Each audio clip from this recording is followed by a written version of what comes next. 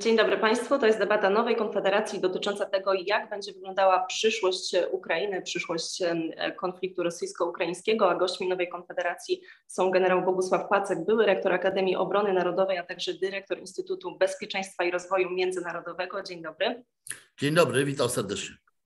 A także pan Marcin Wyrwał, dziennikarz, publicysta Onet Radio. Witam. Dzień dobry.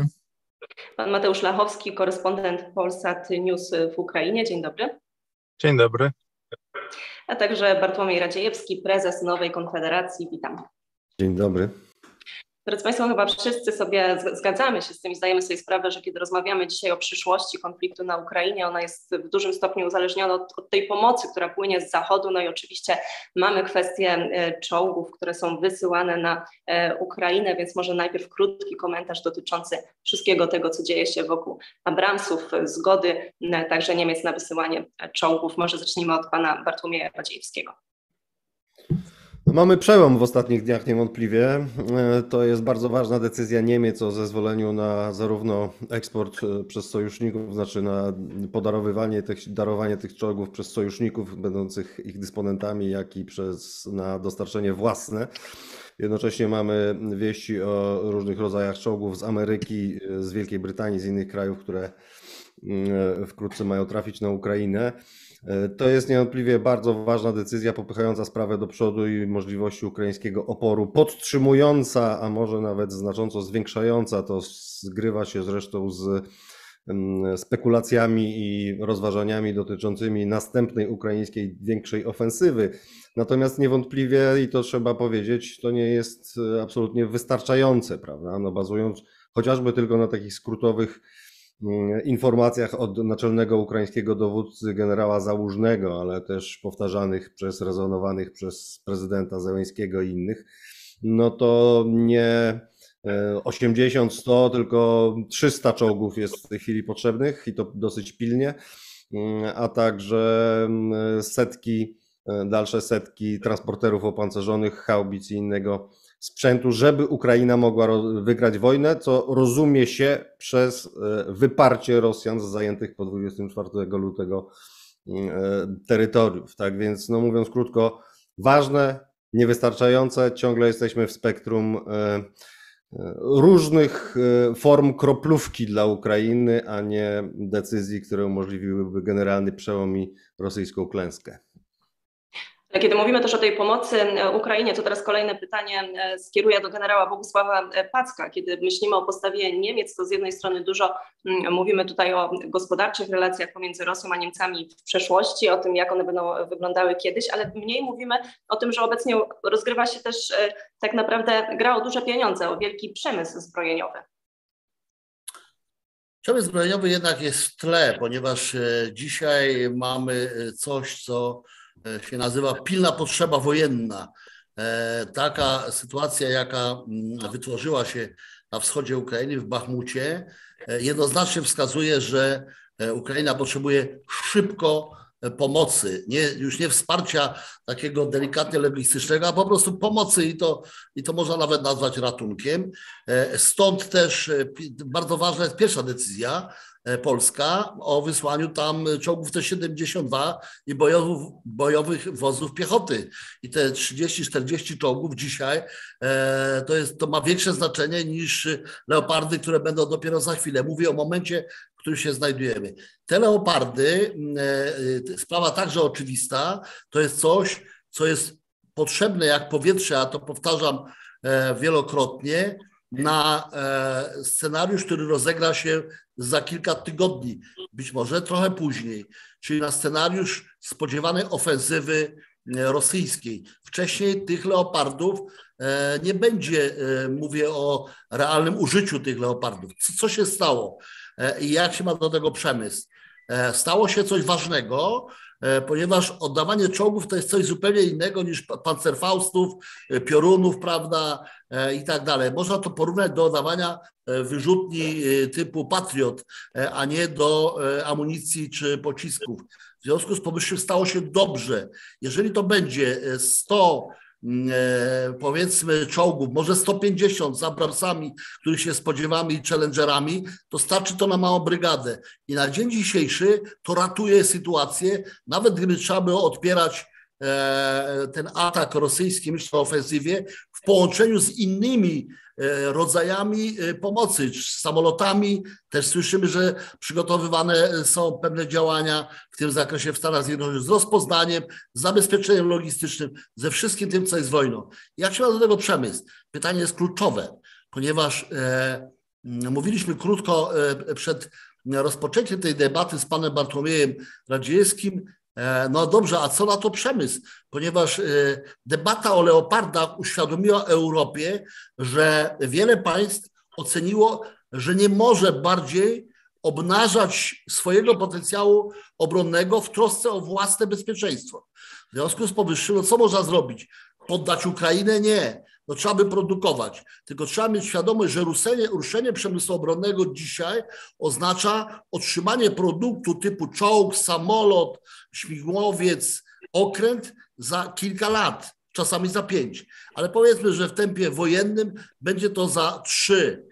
E, I mówimy to o państwach, które mają już technologię, które mają linie produkcyjne, nie o takich, które dopiero chciałyby nabyć. W związku z powyższym, dzisiaj, jeżeli mówimy o przemyśle obronnym, to e, mówimy o pociskach, o rakietach, o amunicji, bo tutaj dysproporcja na teatrze jest niesamowita. Temu się nie przyglądamy. Przeciętny odbiorca także nowej e, konfederacji nie zastanawia się nad tym, o czym mówią Ukraińcy walczący. Na pewno powie o tym więcej naoczny świadek tej wojny, a tak naprawdę jej uczestnik, pan redaktor Marcin Wyrwał, na którego mam dużo szacunku dla tego, co robi. E, jest także, jest także wielu innych dziennikarzy, którzy są na tej wojnie. To jest coś, co stawia Ukrainę w bardzo trudnej sytuacji. Dysproporcja. Ci Ruscy walą, że tak powiem, wszystkim, co mają. Pociskami artyleryjskimi, amunicją, rakietami i to jest dużo więcej możliwości od tego, co e, ma Ukraina. E, I, I, tu jest odpowiedź na Pani pytanie, trochę inne, a mianowicie w tym zakresie może Europa zrobić więcej, ponieważ może produkować nawet do tych systemów poradzieckich, które, e, które, które Ukraińcy mają, bo jeszcze w e, krajach, e, które były kiedyś w Układzie Warszawskim, w niektórych państwach takie zdolności jeszcze są. Znak duże zapytania, państwa próbują osiągnąć balans. Widać solidarność, chcą pomagać ale też widać dużą troskę o własną obronność, o własne bezpieczeństwo, no i nie macie co temu dziwić. Pan generał Pacek niejako wywołał do odpowiedzi redaktora Marcina Wyrwała, e, więc w takim razie tutaj pytanie, no pan jako korespondent wojenny, jako ta osoba, która faktycznie doświadczyła na własnej skórze, wie jak mm, e, wygląda, na jaką skalę jest ten konflikt, ta pomoc, która teraz idzie na, na Ukrainę, e, te czołgi, które są wysyłane, na ile ta pomoc starczy, biorąc pod uwagę no chociażby dzisiejszą sytuację z Bachmutu czy z Soledaru, widzimy jak szybko ten sprzęt po prostu się kończy. Tak, My, nie tylko ja, Mateusz Lachowski tutaj obecny, też my na co dzień E, to jest bardzo proste. Człowiek po prostu tam jest i słyszy skąd co leci i ile, ale też mamy liczby. Ja w grudniu ledwie byłem w Bachmucie na froncie i to właśnie na tym odcinku, e, tym gorącym południowym, gdzie Ukraińcy bronią e, drogi dojazdowej do Bachmutu. Jeżeli ta droga zostanie odcięta, no to po Bachmucie, to już cały Bachmut odcięty i tam tak naprawdę odbywa się po prostu jedno wielkie mielenie sprzętu, tak, tak zwana wojna materiałowa, to znaczy czy dwie strony po prostu spotykają się w jednym miejscu i e, próbują jak najwięcej zniszczyć sprzętu przeciwnika. E, e, tak, i no właśnie. I Rosjanie mają w ogóle dosyć dobre doświadczenie w takich wojnach materiałowych. Ja przypomnę, że podczas wojny światowej na, na łuku kurskim coś takiego Niemcom zafundowali, gdzie po prostu e, Niemcy już do końca wojny nie zdołali odbudować tego swojego elementu e, pancernego. I teraz tak, jak my, my myślimy o tym, e, ile w ogóle tego teraz Ukraina dostanie, tak? Tutaj przed, przed programem z panem generałem próbowaliśmy to na szybko obliczyć. Leopardy. Polska 14 sztuk, Niemcy 14. E, Hiszpania ma dużo, ale jeszcze się nie określiła. E, do tego dochodzą tam chyba Norwegowie mówią coś o 8 sztukach. Tak, to nie są wielkie liczby. Do tego mamy oczywiście Abramsy, tylko że tak, tych Abramsów będzie, jeszcze chyba oficjalnie tego nie podano, nieoficjalnie w prasie czytałem, że około 30 na początek to będzie. No i brytyjskie Challengery znowu 14. To jak to zliczyć, to nie wiem ile tam, tam 60-70 sztuk e, wszystkiego. To teraz e, ja przypomnę, że w zeszłym roku Ukraina, żebyśmy mieli w ogóle pojęcie skali, e, tak, e, Ukraina w zeszłym roku straciła około 550 e, czołgów, tak. Oczywiście to były te 72, Teraz jak będą te bardziej nowoczesne i jeżeli, nie wiem, dojdzie do jakiejś bitwy pancernej, no to te 72, no umówmy się, do Abramsów się nawet nie zbliżą, podobnie zresztą do, e, do e, Leopardów, więc e, od tej strony te czołgi nie będą tak szybko ulegać uszkodzeniu, no ale artyleria wali tak samo w te 72, jak i w Leoparda, tak? A przecież to jest wojna artyleryjska. Każdego dnia na tym froncie Rosjanie Rosjanie zaczynali od 60 tysięcy, teraz zeszli na 20 tysięcy artyleryjskich pocisków dziennie, tak?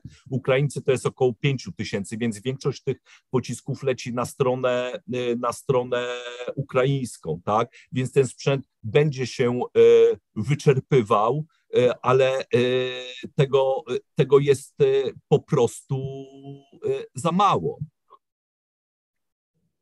Tego jest po prostu za mało. Tutaj, jeżeli chodzi o te Abramsy, to jest faktycznie jeszcze nieoficjalna informacja, dokładnie 31 e, sztuk tak. tych czołgów ma trafić na Ukrainę. To w takim razie teraz jeszcze pytanie do redaktora Mateusza Lachowskiego, który także jeździ na Ukrainę też jako korespondent e, wojenny. Jak pan ocenia?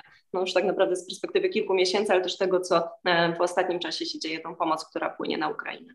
Znaczy ta pomoc jest po prostu za mała, tutaj tak jak powiedzieli moi przedmówcy, to jest kroplówkowa pomoc i o ile ja jeszcze tego tak bardzo nie widziałem na początku tego konfliktu, bo powiedzmy, kiedy pierwszy raz pojechałem na front w marcu, w kwietniu, wtedy wszyscy byli skupieni na tym, e, żeby obronić Kijów, o tym się głównie mówiło. Kiedy ta wojna przeniosła się do Donbasu, to tak naprawdę gdyby nie ja mam takie uczucie, jeżdżąc wtedy do Lisiczańska i do Siewierodoniecka, obserwując, co się wtedy dzieje, w momencie, kiedy e, został zajęty Siewierodonieck, wydawało się, że e, Rosjanie mogą pójść dalej. I gdyby prawdopodobnie nie to, że w odpowiednim momencie do Ukraińców trafiły wyrzutnie HIMARS i oni mogli dzięki rakietom, które owszem mają ograniczony zasięg, ale jednak wprawnie wykorzystane pozwoliły na pewnego rodzaju ograniczenie możliwości dostarczania zaopatrzenia na front dla Rosjan. To im y, rozbiło koncepcję,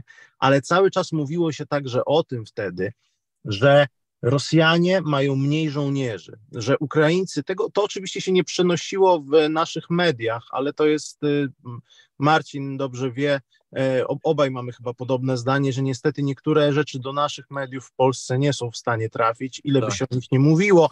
I jest pewnego rodzaju spojrzenie, które bardzo rzadko ma jakiś e, kontakt z prawdą. To wynika też przede wszystkim z tego, że zazwyczaj ta wojna e, jest niestety, ale ostatnimi czasy relacjonowana z Kijowa, względnie z Charkowa przez e, i niektóre telewizje, niektóre media, a niestety cała zabawa w tej chwili, brzydko mówiąc, trwa w Donbasie. I też jak byłem teraz w grudniu e, w Soledarze, to poruszyła mnie jedna informacja, kiedy siedziałem z żołnierzami rano zaczęła się wielka kanonada. Dowiedzieliśmy się, że Ukraińcy e, ilością jednego batalionu zmechanizowanego próbowali zrobić jakieś mikronatarcie, takie, takie lokalne uderzenie.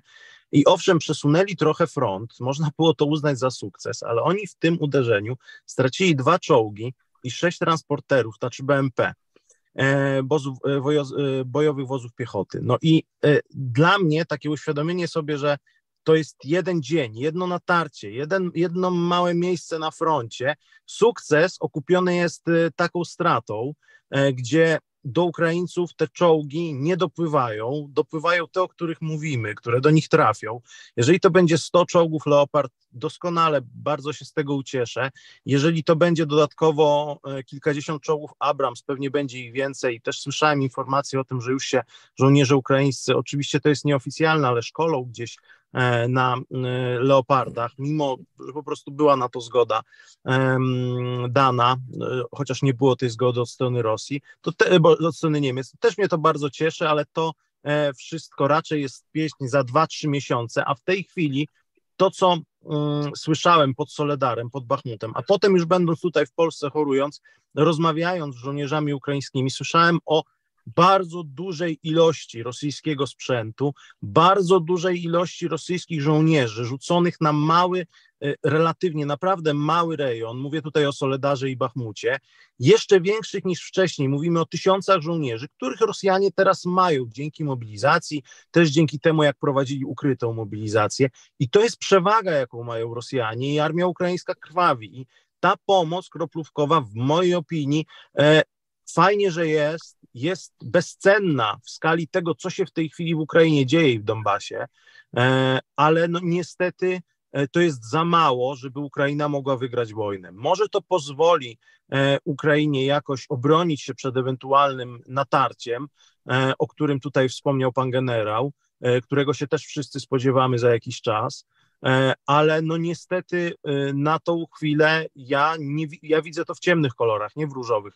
Ja miałem inne zdanie parę miesięcy temu, miałem takie poczucie, że że jest e, dobrze, że po tej kontrofensywie pod Charkowem zwłaszcza, potem po tym jak został Hersoń wyzwolony jeszcze w listopadzie, coś nastąpiło jakieś tąpnięcie, jakiś brak, po prostu brak kolejnych dalszych ciosów ze strony Ukrainy, żeby tą wojnę wygrać i w mojej opinii jest to spowodowane jedną rzeczą, tym, że Rosjanie teraz mają te zasoby mobilizacyjne, mają więcej żołnierzy i płynie do nich sprzęt, który albo odgrzebują gdzieś z magazynów, albo podnoszą stary, zniszczony, no może nie zniszczony, ale stary po prostu magazynowany, doprowadzają do używalności i wysyłają na front i Ukraińcy nie mają czym na tym odpowiedzieć, na, na to odpowiedzieć, no i dlatego obserwowaliśmy Soledar, tam choleralne straty po obu stronach, niestety no, te straty, które Rosjanie bardzo szybko uzupełnią, już dla Ukraińców są większym problemem, dlatego nie wygląda to dobrze. No właśnie, i tutaj pojawia się też pytanie o ten e, potencjał Rosji, o to, co, o co my wiemy. Ja się zgadzam z panem redaktorem Mateuszem Lachowskim, że pewna taka narracja w polskich mediach panuje o tym, aby nie mówić o tych ogromnych stratach po stronie ukraińskiej, albo tych informacji jest za mało, ale jeżeli chodzi o sam Bachmut czy Soledar, no to są setki żołnierzy e, dziennie, tak? Są takie momenty. E, jeszcze jest kwestia sprzętu. No i tutaj kolejne pytanie do Bartłomieja Radziejewskiego tak naprawdę, e, Bartku, jak ty oceniasz, albo co, co my tak na dobrą sprawę wiemy na temat tego potencjału e, rosyjskiego i czy nie jest trochę tak, że po raz kolejny, e, czy to Europa, czy, czy ogólnie Zachód popełnia taki błąd, że może no jednak nie doceniamy tego przeciwnika, bo mamy i dostawy sprzętu z Iranu i ostatnie informacje, że Chiny prawdopodobnie też ten sprzęt wysyłają. Jak być może Rosja może sobie pozwolić jeszcze tak naprawdę na wiele miesięcy albo wiele lat tej wojny? No wydaje się, że w duchu też e, sygnalizowanym niejako przez przed, przed, przedmówców, że w Polsce zapanowała bardzo silnie taka hurra entuzjastyczna narracja od pewnego momentu i mm, bardzo trudno jest się przebić z jakimikolwiek głosami sceptycznymi co do szans ukraińskich, e, a naświetlającymi ukraińskie straty i pokazującymi siłę Rosji. No tymczasem no, musimy na chłodno analizować tę rzeczywistość, to się teraz w coraz większym stopniu przebijamy w Nowej Konfederacji od dużo dłuższego czasu już e, w tym duchu stara, otrzeźwiającym staramy się mm, mówić. E, mm, pod każdym właściwie względem, e, przechodząc do odpowiedzi na Twoje pytanie, no, potencjał rosyjski jest niebagatelny, prawda? To znaczy i sankcje krótkofalowo działają słabiej, dużo słabiej niż oczekiwano. Ja przypomnę, że jeszcze Wiosną ubiegłego roku wielkie instytucje finansowe, nawet typu Goldman Sachs, przewidywały pełne bankructwo Rosji w ciągu kilku miesięcy. Prawda? Nie tylko nic takiego nie nastąpiło, ale mamy względnie płytką recesję w Rosji na poziomie 2-3% na minusie, co jest znaczące oczywiście, ale jest dalece niewystarczające i nie można mówić o żadnym gospodarczym rzuceniu Rosji na kolana, prawda? Oczywiście jest też tak, że to odcięcie od zachodnich technologii, w szczególności od półprzewodników, długofalowo jest dewastujące dla rosyjskiej gospodarki, ale długofalowo, prawda? To znaczy trzeba dłuższego czasu, lat, żeby e, to w pełni ukazało swoje skutki. No i tak samo rzecz wygląda ze sprzętem, z ludźmi, to znaczy Rosjanie mają ogromną przewagę masy. Mówiliśmy tutaj o czołgach ukraińskich. Pamiętajmy, że Rosjanie dysponują w sumie tam kilkunastoma tysiącami czołgów, prawda? Oczywiście popełnili ciężkie błędy i fatalnie przeprowadzili tę kampanię od tego nieudolnego blitzkriegu na samym początku przez wiele porażek w tej wojnie, ponieśli duże straty. To jest drugi Afganistan, ale to nie znaczy, że jej możliwości są wyczerpane. Tak samo te spekulacje o końcu mm, rosyjskiej amunicji, rosyjskich rakiet, prawda? Ileż to razy słyszeliśmy, że już za chwilę Rosjanom skończą się rakiety. A oni cały czas strzelają i to strzelają tysiącami, prawda? Ograniczyli jak pan redaktor wyrwał, chyba wcześniej zwracał uwagę, ograniczyli tę liczbę wystrzałów znacząco dziennie, ale to też jest związane z tym, że dzisiaj potrzebują mniej wystrzeleń dziennie, żeby powodować takie same zakłócenia y, ukraińskiej energetyki, które skądinąd jest druzgocące, tak? To znaczy to jest, to jest katastrofa, co się dzieje z ukraińską energetyką i z wielkim chłodem, jak ja to mówię, gdy Sowieci zrobili kiedyś Ukraińcom wielki głód, tak dzisiaj Rosjanie robią Ukraińcom wielki chłód. Ludzie milionami marzną, nie mają wody, nie mają ciepła. To jest ciężka katastrofa humanitarna, ale chyba redaktor wyrwał, co chciał, coś chciał wtrącić. Tak, jeśli można y, szybko, to ograniczenie, tu są dwie różne teorie. Jedna teoria jest taka, że oni ograniczyli dlatego, żeby zachować większy zapas na ewentualną y, ofensywę, ale jest drugie, chyba lepsze wytłumaczenie i poparte większą ilością dowodów, ponieważ e, Rosjanie obniżyli ten, tą intensywność mniej więcej we wrześniu, a sierpień i wrzesień to były te pierwsze dwa miesiące zupełnie niespodziewanych dla Rosjan, bardzo precyzyjnych ataków Hajmarsami, tymi pociskami krótszego zasięgu 70 kilometrów. I teraz tak, to spowodowało dwie rzeczy po pierwsze Rosjanie, bo oni strzelali w magazyny amunicji, y, Ukraińcy. I teraz tak, po pierwsze Rosjanie musieli odsunąć e, swoje magazyny poza zasięg e, Hajmarsów, tych 70 kilometrów zasięgu, ale po drugie e, musieli też mieć magazyny no, w ich zasięgu, żeby na szybko dostarczać na front, ale te znowu magazyny musieli rozdrobnić. I to te dwa elementy spowodowały to, że trudniej jest dostarczać tak duże ilości pocisków bezpośrednio na front, a to się wiąże teraz z tym, że od miesięcy Ukraińcy proszą Amerykanów, dajcie nam atakamsy, czyli no tak. te, te, rakiety do y, Hajmarsów, które strzelają na 300 kilometrów, cztery razy więcej. Jak to by odsunęło e, Rosjan, od, odrzuciło Rosjan, magazyny, wszelkie inne zasoby e, od frontu. To tak tylko szybko a propos tych, tych liczb.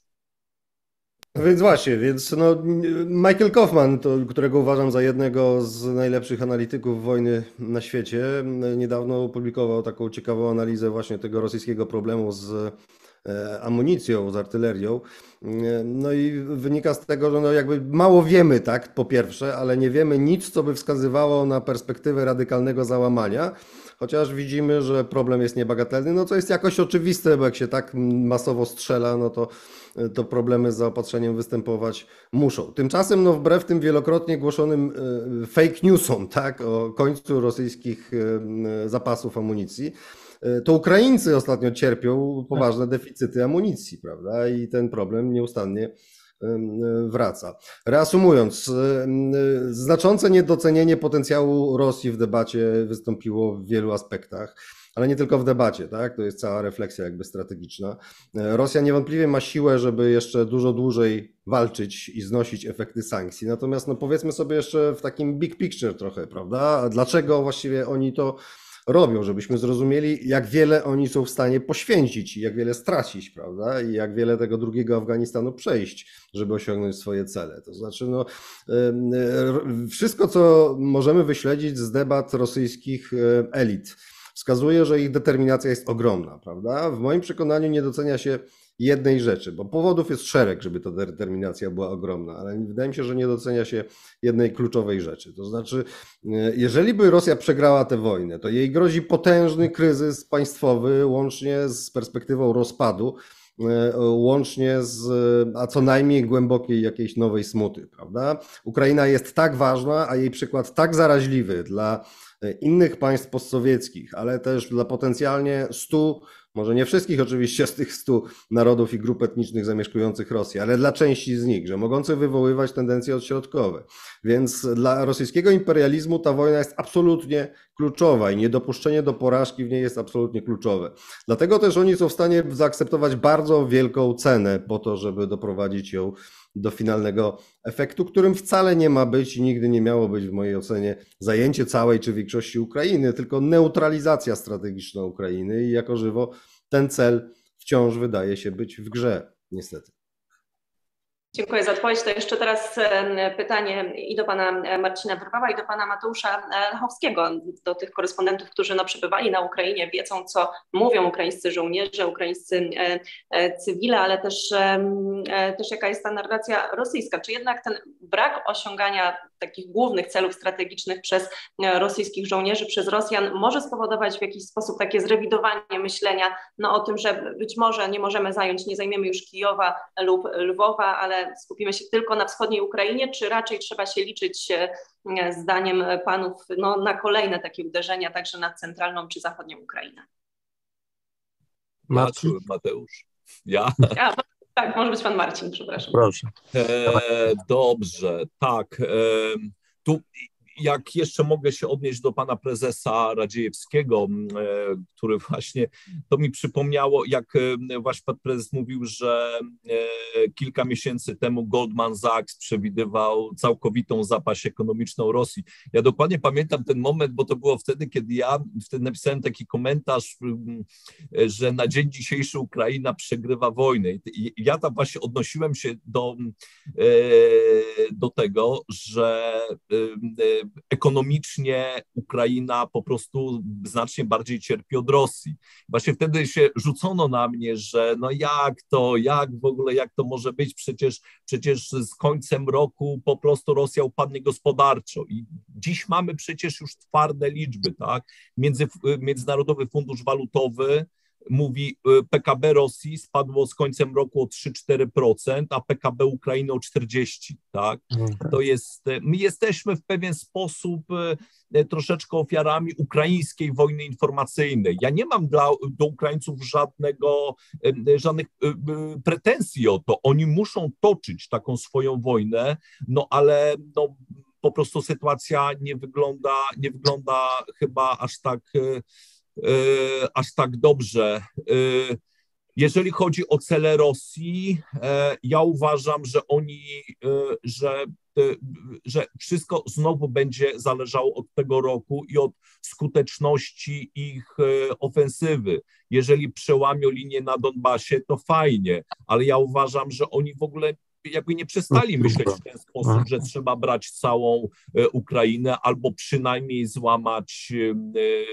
e, Kijów. To nie jest tak, że oni na początku dostali łupnia, bo faktycznie tam parę rzeczy nie wyszło i oni już dostawali, ja znowu się do historii odwołam. Przypomnę II wojnę tak. światową i operację Barbarossa, tak, gdzie w ciągu sześciu tylko miesięcy 42 roku, od czerwca do grudnia, przecież Niemcy spuszczali Rosjanom niesamowitego łupnia, oni tam ich miażdżyli. Ja przypomnę, 3, 3 miliony, 3 miliony e, nie, e, Rosjan wtedy zabitych i rannych, 3,5 miliona w niewoli, 6,5 miliona Rosjan straconych dla pola walki. Ja chyba nie muszę mówić, kto zawieszał kilka lat e, później radziecką flagę na Reichstagu, tak? Czyli oni są zdolni do, do potwornych poświęceń, mhm. bo E, tam szacunek dla ludzkiego życia, no to wiem jak wygląda, no już tak bardziej cywilizacyjnie też patrząc na to wszystko. Czy ja jeszcze, jeżeli mogę tak na bieżąco się odnieść, to my musimy sobie też powiedzieć wprost, że rzeczy, które dla nas są w Polsce, w Europie Zachodniej, centralnej, nie do pomyślenia, warunki życia, w których żyją e, Rosjanie, które są naprawdę dla większości naszego społeczeństwa nie do pomyślenia, dla Rosjan są często codziennością. Rosja to nie jest Moskwa i Petersburg, Rosja to jest często Burjacja, Dagestan, Tuwa, inne, y, Jakucja, inne tego typu miejsca, totalnie egzotyczne z naszego punktu widzenia, ale właśnie z tych y, miejsc, które wymieniłem, najwięcej żołnierzy służy w rosyjskiej armii. I teraz nie jest problemem to, że obniży się poziom życia w Rosji. Może w jakiś sposób delikatnie tak, ale to nie doprowadzi do żadnej rewolucji, bo jest jeszcze coś takiego w Rosji jak służby. Służby, o których jeden z polskich ochotników, którzy służą tam w tej chwili, walczą w Ukrainie, w Legionie Międzynarodowym, powiedział mi tak: Nie dam ci wywiadu, nawet bez twarzy bo jednej rzeczy się boję, boję się służb rosyjskich. Rosyjskie wojsko jest śmieszne bardzo często w tym, co robi w Ukrainie, chociaż ma swoje atuty, ale rosyjskie służby nie są jak rosyjskie wojsko. Rosyjskie służby są inne i one są skuteczne, czasami popełniają błędy, ale ja się ich boję. I e, niestety, ale takie spojrzenie ma nie tylko ten żołnierz e, polski, którego całkowicie rozumiem, e, mm, tylko większość społeczeństwa rosyjskiego. I na to mamy wiele przykładów. To jest społeczeństwo, które od setek lat żyje pod samodzierżawiem, tak to określmy. Też się odwołam do historii od setek lat y, zdaje sobie sprawę z tego, że nieposłuszeństwo może spowodować y, śmierć albo e, w najlepszym wypadku zaginięcie, wywiezienie. I niestety, mimo tego, że w większości świata wydawało się, że nowoczesna Rosja jest inna, no to tutaj pod tym względem Rosja nic się nie zmieniła. I e, Dlatego mobilizacja, dlatego obniżenie poziomu życia, dlatego kryzys gospodarczy, one w mojej opinii, kiedy rozmawiam, no mam też znajomych Rosjan, mam znajomych Rosjan, którzy też walczą po stronie ukraińskiej w Ukrainie, ale, ale ogólnie znajomych Rosjan e, czy Białorusinów i oni mówią o tym, że to nic nie zmieni. E, e, naprawdę musiałoby dojść do jakiegoś wielkiego tąpnięcia, a Rosja tej wojny w tej chwili nie odczuwa na pewno w żaden sposób w takim kontekście, no w taki, taki sposób jak Ukraina. Tego się nie da porównać. Miasta rosyjskie żyją normalnie. Po prostu, no, wojna toczy się na terytorium Ukrainy. I teraz jeszcze odnosząc się do tego, co mówili moi szanowni przedmówcy, to jest jeszcze coś takiego, co powiedział mi jeden żołnierzy ukraińskich teraz jeszcze w grudniu, zanim wyjeżdżałem, bo też już w Polsce popełniłem taki tekst właśnie o o tym, jak wyglądają te straty, co się dzieje w Soledarze, co się dzieje w Donbasie. Rozmawiałem dużo e, tutaj dzwoniąc e, z Polski do swoich znajomych albo przede wszystkim pisząc z nimi na WhatsAppie. Podawali mi jakieś naprawdę przerażające e, liczby. Gdzieś więcej będę mógł się dowiedzieć zaraz, bo teraz jadę do, mm, na Ukrainę, jutro będę w Kijowie, pojutrze już w Donbasie, ale wnioski są takie, że niestety, ale pojawiają się nawet problemy z morale wśród żołnierzy ukraińskich. Pierwszy raz o tym słyszałem, ale niestety pod Bachmutem i pod Soledarem zdarzały się takie przypadki. I mówiliśmy o propagandzie. Ta propaganda ukraińska jest też dlatego, i takie zdanie zresztą usłyszałem, e, mając wykład w Łódzku na uniwersytecie z dziennikarzami, mm, od właśnie jednego z wykładowców, e, który tam pracował, że musimy mówić e, o tym, o, samo, o samych dobrych rzeczach. Musimy prowadzić taką wojnę propagandową, bo ci żołnierze, którzy idą do wojska, nie będą chcieli iść na front. E, musimy pokazywać, że jest lepiej niż jest. No a niestety tam na miejscu, to jest zdanie z wczoraj od mojego kolegi, e, nowy dowódca po przeniesieniu go do innego oddziału powiedział, e, idziemy w takie miejsce, że część z was będzie chciała po prostu napisać kwit z prośbą o to, żeby nie uczestniczyć tutaj w działaniach bojowych. On walczy w Donbasie. To są naprawdę warunki koszmarne. E, cztery dni siedziałem z żołnierzami w Soledarze, w ich piwnicy. E, w tej piwnicy, na szczęście jak ja tam byłem, to tego nie było, ale w tej piwnicy woda podchodziła po kostki w trakcie deszczu. W tej piwnicy ci żołnierze mieszkali miesiąc, spędzili na pierwszej linii dwa miesiące, wcześniej walczyli pod Bachmutem. To są jakieś, mm, tutaj niestety nie widzę, pan generał e, na chwilę zniknął, ale myślę, że jego warto to zapytać, czy to są normalne warunki walki, gdzie ja słyszę o tym, że żołnierz powinien być na pierwszej linii tydzień, dwa, e, no żołnierze ukraińscy są wiele, wiele dłużej, to jest wykończające psychicznie, wykańczające e, fizycznie. Ten oddział już po rotacji już znowu jest na froncie, I niestety tak muszą e, swoje działania prowadzić Ukraińcy, no bo oni tych żołnierzy mają najzwyczajniej w świecie mniej e, niż Rosjanie. I ostatni kłopot, który mi e, jakby cały czas do mnie wraca, kiedy myślę o tej wojnie, to to, że w momencie, kiedy jechałem na Ukrainę 24 lutego i potem, kiedy pod Kijowem, potem e, w Donbasie czy w Charkowie rozmawiałem z żołnierzami ukraińskimi. Wielu moich znajomych to byli weterani ATO albo później OOS. To są nazwy mówiące o wojnie wcześniejszej w Donbasie, operacja antyterrorystyczna, którzy mieli po prostu doświadczenie bojowe. I to doświadczenie bojowe było bardzo ważne, zwłaszcza jeśli trzeba było przeprowadzić jakieś natarcie, bo łatwiej jest bronić się. Tutaj panowie mają większe doświadczenie, ale ja mówię to, co mówili mi żołnierze ukraińscy. Mm, łatwiej jest się bronić osobie nowo zmobilizowanej, no bo ona ma po prostu swój sektor, swoje miejsce, krótkie przeszkolenie, wie, co ma robić, ale atakować do tego, do tego trzeba nie dość, że wyszkolenia, większej odwagi, umiejętności po prostu y, zachowania się w takiej sytuacji. I Ukraińcy ciągu ostatnich miesięcy wielu takich żołnierzy z tym doświadczeniem stracili. Ci żołnierze byli bezcenni dla nich. Ja sam kilkunastu znajomych e, miałem, którzy zginęli na tej wojnie, którzy mieli wcześniej doświadczenie e, tego typu bojowe. E, nie byli świeżo zmobilizowanymi ludźmi po trzech miesiącach szkolenia E, którzy nagle są rzuceni w miejsce naprawdę no, przerażające, z okropnymi warunkami. E, I to też jest bardzo ważne, że niestety, ale Ukraińcy tych żołnierzy tracą.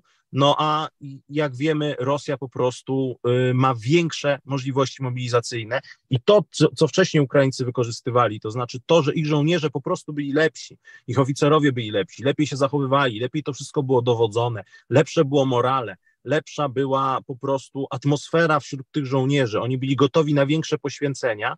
W tej chwili, przez to, że tracą tych żołnierzy z doświadczeniem, a też ta sytuacja na froncie jest naprawdę trudna, warunki są okropne i to wpływa na, no, na myślenie po prostu tych ludzi, którzy tam są po stronie ukraińskiej, to niestety też wytraca się trochę ta przewaga albo to, czym Ukraińcy niwelowali tą przewagę e, sprzętową, a teraz już niestety dojdzie do tego, że y, tą y, przewagę w ilości żołnierzy rosyjskich, bo tutaj role się odwróciły po e, tej rosyjskiej mobilizacji.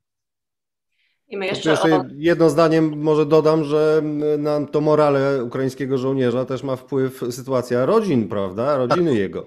To znaczy, jeżeli on walczy y, bohatersko na froncie, ale jednocześnie słyszy od swojej rodziny, że ona nie, nie ma ciepła, nie ma wody, prawda? Nie ma prądu i marznie w jakiś, y, y, a jednocześnie latają rakiety mhm. dookoła, no to to wpływa na jego morale. Prawda? Oczywiście ja to sam nawet już tak wtrącając jeszcze widziałem, jak po prostu rodziny dzwoniły do tych żołnierzy z nimi. I te, tego dnia, akurat kiedy byłem żołnierzami w Soledarze, był e, jeden ze zmasowanych ataków i nie było prądu w Kijowie, pod Kijowem też, w Makarowie i rodzina dzwoni do mojego kolegi Jury, dzwoni jego córeczka kilkuletnia, czy mama, a potem on rozmawia z córeczką i on jej musi tłumaczyć, dlaczego tak jest. No to jest zupełnie i sam później w, rozmowie ze mną żałuje, że oni wrócili, bo oni byli przez jakiś czas w Polsce, więc to są też jakieś takie dylematy, że ci ludzie się boją o swoje rodziny właśnie wewnątrz kraju. Ciekawe, jak będą reagowali też, kiedy znowu dojdzie do e, jakiegoś natarcia e, rosyjskiego, choćby właśnie z północy gdzieś na Charków czy, czy w innym miejscu. O to jeszcze e, myślę, że za moment dopytamy generała e, Bogusława Packa. Ja tylko jeszcze dodam e, może jedną rzecz do wypowiedzi pana Mateusza Lachowskiego. Ostatnio byłam na ciekawej promocji książki Piotra Skwiecińskiego na temat tego, jak może wyglądać rozpad sowieckiego ładu i tam właśnie było to zastanowienie się na temat Rosjan, tego, że u nich to nie jest tylko i wyłącznie jakby kwestia strachu, tego, że oni, to tylko takiej wyuczonej bezradności, tego, że oni w mhm. ogóle nie wierzą, cokolwiek może się zmienić, że nie ma co tak. liczyć na jakieś powstanie, czy w Moskwie, czy w Sankt Petersburgu, bo to są po prostu no, ludzie, którzy kompletnie już tak psychologicznie czują, że nic, nic się nie da e, zrobić. No ale to mm, jeszcze na moment chciałam przejść do Bartłomieja Radziejewskiego e, i do kwestii pomocy e, europejskiej. No teraz mamy taką narrację, że tak naprawdę to Polska wywarła wielką presję na Niemczech, na Berlinie, że nasze elity polityczne spowodowały, że jednak ta zmiana nastała. No chyba mm, gdzieś wydaje się, że to, to jednak była bardziej amerykańska decyzja. No i tutaj pytanie o w kontekście też przyszłości wojny na Ukrainie o, o tą postawę Amerykanów. Nie, no zdecydowanie presja amerykańska była tutaj decydująca, jak i generalna presja no, międzynarodowa, prawda, na Niemcy e, w tej sprawie. Wiem, że lubimy się czasami poczuć wyjątkowo, ale doprawdy nie przesadzajmy z tym naszym znaczeniem, aczkolwiek dobrze, że polskie elity naciskały na Niemców w tej sprawie i swoją cegiełkę tutaj niewątpliwie dołożyły. Natomiast e, może warto się zastanowić też od drugiej strony, bo mówiliśmy o potencjale rosyjskim, tak? Natomiast e, potencjał zachodni z jednej strony jest ograniczony, ale z drugiej zadajmy sobie pytanie, dlaczego właściwie doczekaliśmy do tego momentu, kiedy, jak słusznie zauważał redaktor Lechowski, wchodzą w życie pełne efekty tej mobilizacji z września dzisiaj, prawda? Znaczy właśnie ten czas, styczeń, marzec, to jest czas wchodzenia w życie tego, bo to nie, nie jest tak, że to działa natychmiast, prawda? Więc setki tysięcy rosyjskich poborowych zalewają dzisiaj front, a z nimi idzie sprzęt, z nimi idą inne e, rzeczy. Czyli e, krótko mówiąc, e, czas na to, żeby pomagać Ukrainie w walny sposób, był znacznie lepszy jeszcze miesiąc temu i we wcześniejszych momentach niż jest teraz i, będzie coraz gorzej, prawda? Więc dlaczego Zachód to robi? Dlaczego nie? Przecież w momentach, w których jest potrzeba, a brakuje jakiegoś dobra, na przykład tych czołgów, czy transporterów opancerzonych, czy haubic, czy innych rzeczy, prawda? No to się robi co się może. Kupuje się gdzie się da, jak trzeba, to się nawet kradnie, prawda? Zwiększa się produkcję, no to, to, tu akurat nie jest prosto, wiemy, bo to zbyt rozłożone w czasie, ale można zrobić wiele rzeczy było wcześniej i efekt byłby znacznie lepszy, tak? Znaczy ta sama pomoc dana dzisiaj, jutro wywoła znacznie mniejszy efekt niż wywołałaby miesiąc, dwa, już nie mówiąc pół roku temu. Więc dlaczego? E, no i tutaj pojawia się pytanie, czy to nie jest świadoma polityka amerykańska, żeby pomagać Ukrainie tylko na tyle, żeby w kontrolowany sposób osłabiać Rosję, prawda? To jest jakby jedna rzecz. Druga rzecz jest taka, że takie stwierdzenie wydaje mi się, że łatwo jest uargumentować, prawda? Taka kontrola drabiny eskalacyjnej, żeby nie doprowadzić żeby Ukraina mogła dalej walczyć, żeby była na tej kroplówce, ale nie doprowadzić do generalnej klęski rosyjskiej, bo to była zbyt duża zmiana geopolityczna, pod pewnymi względami problematyczna z punktu widzenia amerykańskiego interesu narodowego. Ale od razu zniuansuję, prawda? I powiem, że widzę pewną niejasność tutaj w polityce amerykańskiej i też rywalizację różnych koncepcji, gdzie Lloyda Austina, prawda, można uznać za E, trochę zwolennika powiedzmy frakcji Jastrzębiej, który mówił o tym, żeby trwale pozbawić czy długofalowo pozbawić Rosję potencjału ofensywnego, a więc wypchnąć ją de facto z grona wielkich mocarstw i do tego rzeczywiście mogłoby doprowadzić e, takie wspomożenie Ukrainy, żeby Rosja doznała generalnej e, klęski w tej wojnie. No ale zakładając, że są poważni zwolennicy takiej koncepcji, no to oni cały czas nie wygrywają, prawda? I to też się dzieje z jakichś powodów. A więc ta powiedzmy umiarkowana koncepcja cały czas wygrywa. E, e, no i to jest niebagatelne, prawda? Kissinger e, zrobił, wywołał wielkie oburzenie w zeszłym roku, mówiąc między innymi to, jak trudno jest mu sobie wyobrazić świat bez Rosji, bo przecież w pewnej mierze o tym rozmawiamy, prawda? Że generalna klęska rosyjska mogłaby doprowadzić do implozji Imperium Rosyjskiego. Więc e, czy to nie jest jednak tak, że mimo tych oficjalnego oburzenia na słowa Kissingera, po cichu elity zachodnie, w tym elity w Waszyngtonie i w Pentagonie, e, bardzo trudno im przychodzi wyobrażenie sobie świata bez Rosji i bardzo trudno im sobie przychodzi doprowadzenie świadome do generalnej klęski rosyjskiej i możliwości implozji rosyjskiej, co ma szereg rzeczy, między innymi taką, że jeżeli Rosja by się rozpadła, to y, kto przejąłby te zdolności projekcji siły na przykład z rosyjskiego Dalekiego Wschodu, jeśli nie Chiny, które są znacznie większym zagrożeniem z perspektywy Ameryki niż Rosja. Nie wiem, czy wrócił już do nas y, generał Bogusław Pacek, czy jest pan generał z nami? Nie ma jeszcze. No to w takim razie może teraz pytanie do e, redaktora Marcina Wyrwała. Czy, czy redaktor zgodzi się z taką tezą, jaką teraz przytoczył Bartłomiej Radziejewski, że ta kroplówkowa pomoc, która płynie z zachodu, która gdzieś tam też jest kontrolowana e, w dużej mierze przez Stany Zjednoczone, no jest spowodowana tym, że to osłabienie Rosji ok, ale w kontrolowany sposób, byle nie e, za szybko. Tak, Zgadzam się i to jest to, o czym ja mówię, piszę od bardzo dawna. My nie mamy na to żadnych dowodów, ale ja się bardzo obawiam, że Ameryka to jest e, taka struktura, Amerykanie po prostu nie są być może w stanie wyobrazić to, co dla nas byłoby po prostu wyrwaniem się spod takiej dla nas, narodów tutaj, e, hegemonii, tak, tego, spod, spod, a, a dla narodów, które są więzione przez Rosję, tak, bo przecież Rosja jest nazywana tym więzieniem narodów, tak, e, i to, co dla nas jest naturalnie, wiąże się, czyli rozpad Rosji z jakimś e, rozszerzeniem pola demokracji, dla Stanów Zjednoczonych jest nie za bardzo wyobrażalne. One są w swoim regionie hegemonem i być może trudno im sobie wyobrazić po prostu jakiś inny region bez własnego hegemona. Ja chciałbym przypomnieć taką e, sprzed dosłownie e, kil, e, ile, dwóch, trzech, trzech dekad historię, kiedy rozpadał się Związek Radziecki.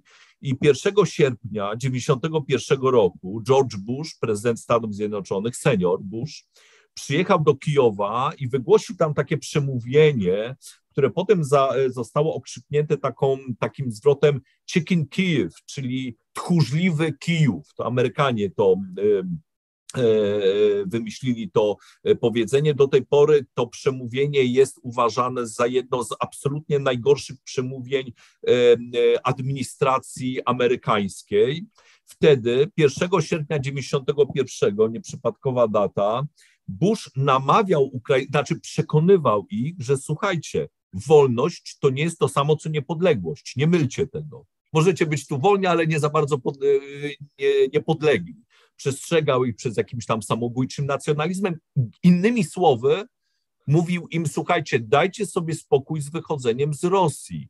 To państwo nie może się rozpaść. 24 dni później Rosja rozpa- znaczy Rosja, Związek Radziecki się rozpadł i cóż, dzisiaj ledwie trzy dekady później mamy jakiś ślad historycznej szansy, żeby pociągnąć to dalej, żeby to, to, to będą same dobra dla, dla naszego całego e, regionu z tego płynące, ale, ale no właśnie, ale z drugiej strony mamy Amerykanów, którzy dają Abramsy, bo pewnie już informacje wywiadowcze są takie, że ten atak, ta ofensywa wiosenna rosyjska to nie będzie nic małego. Być może nawet trochę, być może w ślad za tym pójdą jakieś F-16, chociaż nie jestem przekonany, no ale cały czas jakby e, sygnał jest jasny. Walczymy tylko na waszej ziemi, Ukraińcy. Wszelkie zniszczenia tylko na waszej ziemi krew przelana i tak dalej, i tak dalej. A pamiętajmy o tym, że okej, okay, dobrze, jeżeli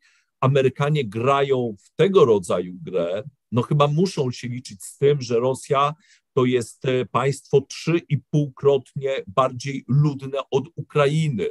I krew ukraińska to nie jest to samo, co krew e, e, rosyjska. Trzy i pół raza. To znaczy, że jeżeli na każdego zabitego Ukraińca będzie dwóch zabitych, może nawet trzech Rosjan, e, to i tak Rosjanie będą e, do przodu w tej populacyjnej rozgrywce na, na wyniszczenie. A jeszcze przecież musimy, musimy pamiętać, no właśnie, o, tej, o tym, o, Rosjanie po prostu mają wielowiekową tradycję walczenia masą i zadeptywania tego, tego przeciwnika. E, kilka elementów mogłoby zmienić reguły gry. Przecież, przecież e, jeżeli chodzi o amerykańskie Ambramsy, to oni mają tego tysiące.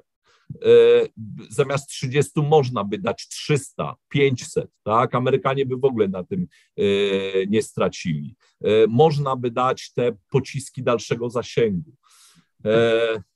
Ukraińcy zdają sobie z tego sprawę przecież i Mateusz to przecież pewnie odbywał wiele razy tego rodzaju rozmowy tam z żołnierzami, ale od prostych żołnierzy do oficerów na miejscu. Oni sobie zdają z tego sprawę. Ile, ile nam Amerykanie dadzą, to tyle my wywalczymy. Mamy najbardziej doświadczoną, najlepszą armię świata i to jest prawda. Oni się nie przechwalają. Przecież, przecież żadna armia w tym momencie nie jest tak dobrze wyszkolona, tak?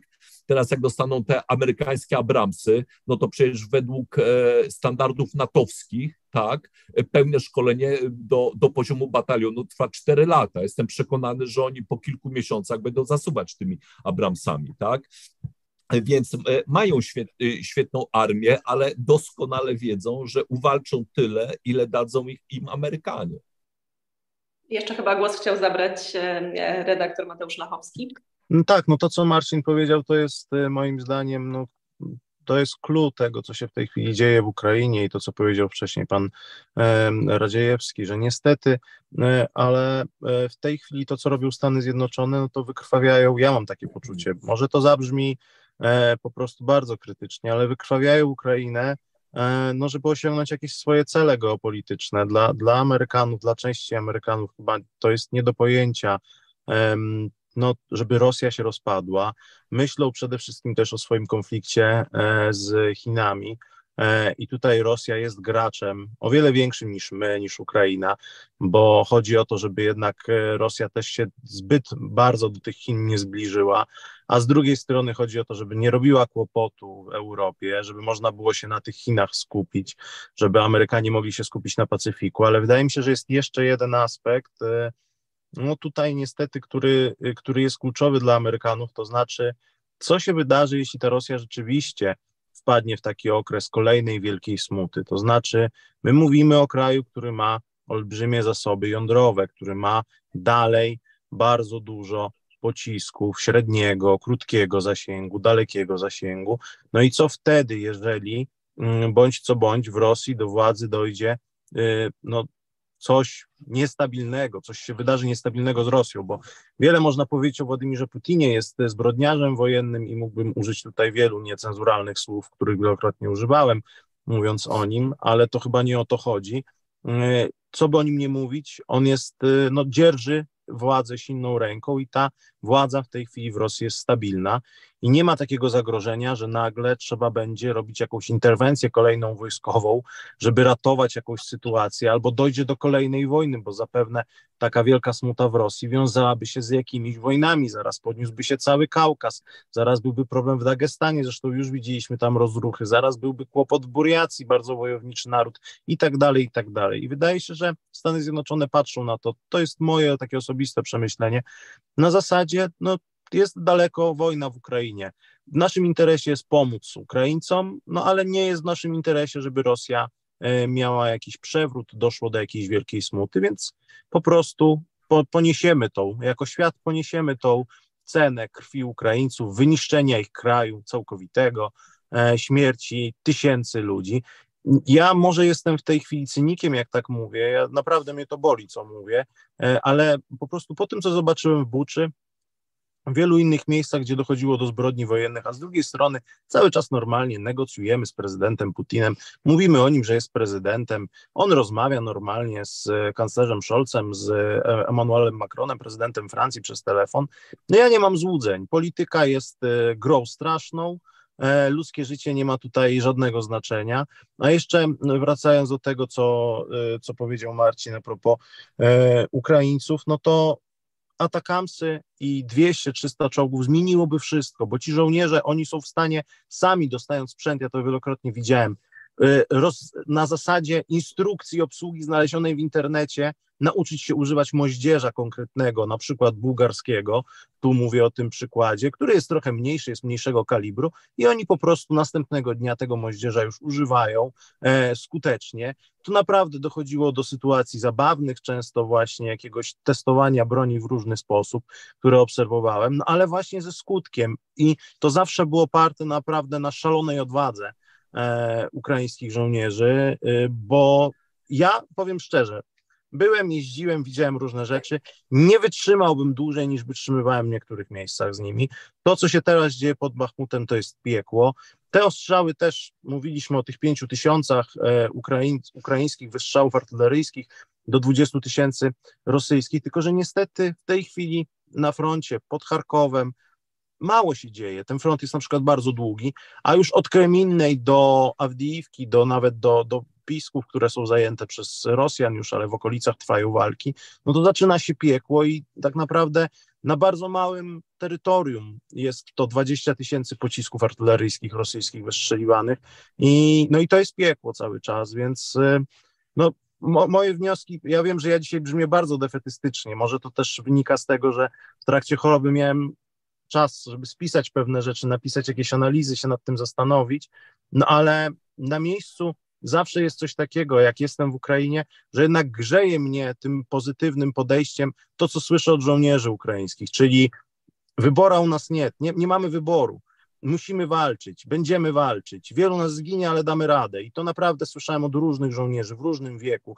nawet od y, dawnego wiceministra y, Antona Geraszczenki, ale y, spraw wewnętrznych. Ale niestety tu, jak się o tym myśli, jak się na to patrzy z perspektywy Polski, po dwóch tygodniach przebywania tutaj, moje wnioski są bardzo złe. Mam nadzieję, że wyjazd na Ukrainę znowu, znowu sprawi, że będę miał więcej wiary w to, że ta wojna skończy się dobrze dla Ukrainy, no i dla nas, dla Polaków.